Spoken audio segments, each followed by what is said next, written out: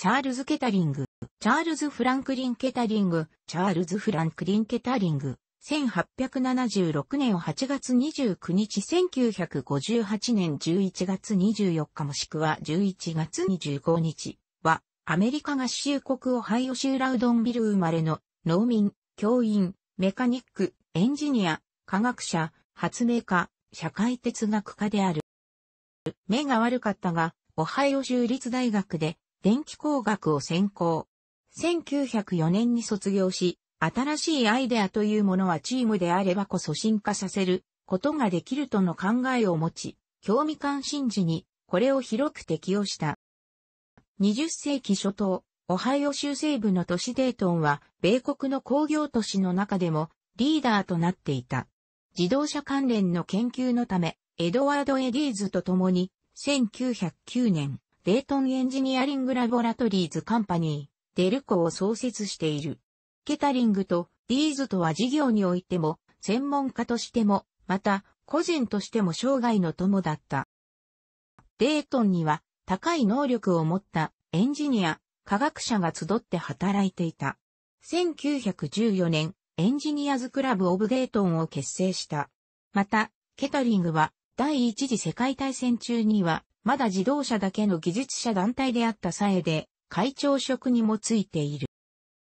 デルコは1920年にゼネラルモーターズに売却され、ゼネラルモーターズリサーチコーポレーション、ゼネラルモーターズリサーチコーポレーション、及びデルコエレクトロニクスに発展する。売却したケタリングは、ゼネラルモーターズリサーチコーポレーションの副社長となり、その後27年間、GM の研究所を率いた。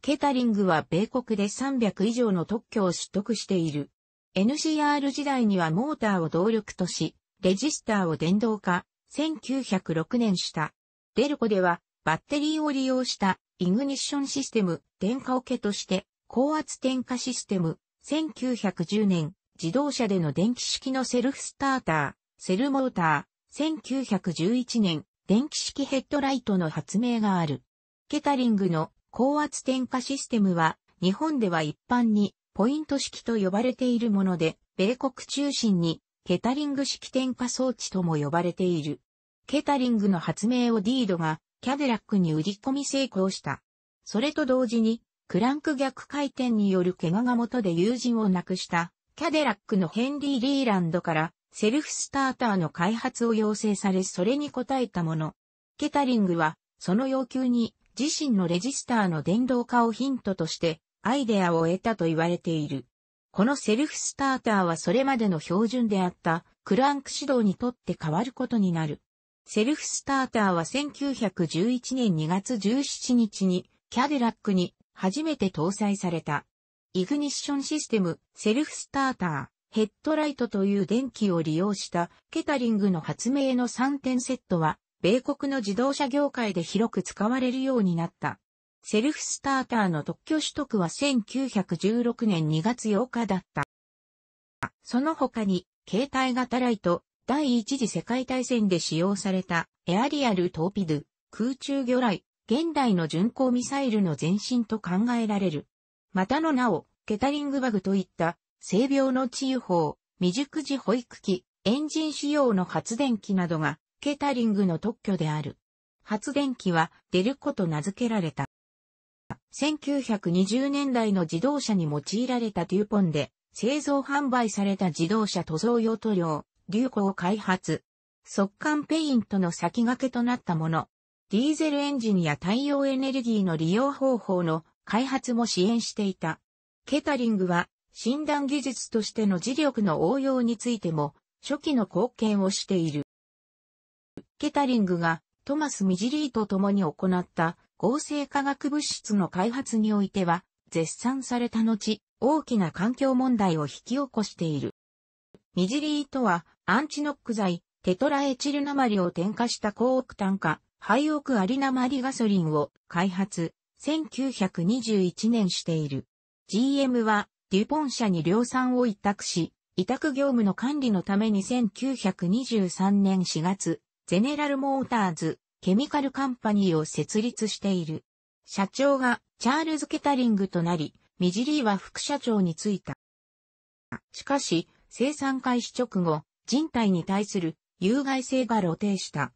1924年に、オハイオ州デートンにあるデュポン社の工場では2名が死亡し、40名が病気となった。このほか、ニュージャージー州、ベイウェイのスタンダード石油の工場では7名が死亡、33名が精神病に罹患した。テトラエチル鉛による急性鉛中毒が原因である。1924年、ゼネラルモーターズはロックフェラーが率いていた、スタンダード石油と共にエチルガソリンコーポレーションを設立し、ミジリを部長に迎えた。ノッキングしない、このガソリンは、エチルガソリンという名前で販売された。米公衆衛生局は1926年に、添加剤として希釈されるためという理由で、有害性は公衆衛生上の問題にならない、との判断を出している。しかしこのユーナマリガソリンは1960年代に環境問題となる。1974年にはユーナマリガソリン禁止に関する初めての訴訟が起きた。高オクタン化ユーナマリガソリンは1918年から開発が始まった空冷エンジンの失敗から生まれたものだった。この空冷エンジンは空冷フィンとして銅板を使用したが単に平板の銅板をシリンダー周囲に溶接しただけであったため、冷却能力が足りず、エンジンとしても完成に時間がかかっただけでなく、搭載された1923年の空冷、死亡霊車は759台製造された100台ほどが顧客に渡ったところで、すべてを回収することに決定された。しかしそのうちの1台は、ヘンリー・フォードが購入しており、ヘンリー・フォード自動車博物館が所有していると言われている。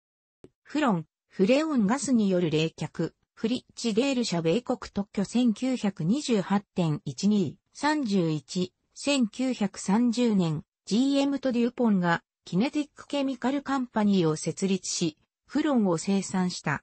1935年までに、フリッジデールも含め、冷蔵庫メーカーは冷蔵庫を800万台も生産した。1998年、 GMI エンジニアリングマネジメントインスティチュート、以前はゼネラルモーターズインスティチュートが、ボス、ケタリングの名にちなみ、ケタリング大学となった。また、ニューヨーク市の研究、自由複合地区には、メモリアルスローンイコールケタリング、ガンセンターがある。オハイオ州のデートン郊外にあるケタリングは、1955年に造成され、ケタリングにちなんで命名された土地だが、現在では最高級住宅地となっている。ケタリングの住んでいたリジレーテラスは1914年に建てられたもので、米国で最初にエアコンが使われた家である。近くにはチャールズ会ケタリング病院もある。チャールズ・ケタリングには名言、格言として引用されている文章が数多くある。楽しくご覧になりましたら、購読と良いです。クリックしてください。